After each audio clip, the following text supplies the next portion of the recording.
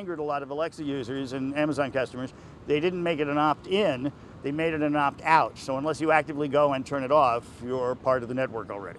Beginning today, Amazon devices including Echo, Alexa, Ring doorbell, or floodlight cameras are connected to Amazon Sidewalk. Here's how it works. If your internet goes down and you have Sidewalk enabled, your Amazon device will still work and can still send you alerts. That's because those devices will latch on to a nearby internet connection. It's turning on a mesh network that Echo and Alexa devices have in them to extend a Wi-Fi network beyond where a typical Wi-Fi network can go. Margolis says privacy is a bit of a concern, but says the company is putting measures in place. Amazon says, of course, that the traffic that they're sharing with other people is separate from your traffic. But explains that the main concern is sharing your internet with others.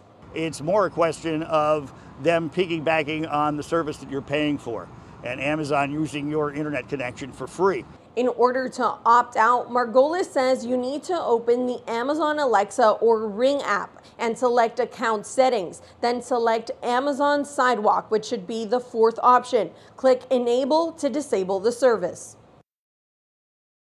It does say that Sidewalk uses a small portion of your internet bandwidth to provide these services to you and your neighbor. Reporting live in Palm Beach Gardens, Ana Espinosa, WPBF 25 News.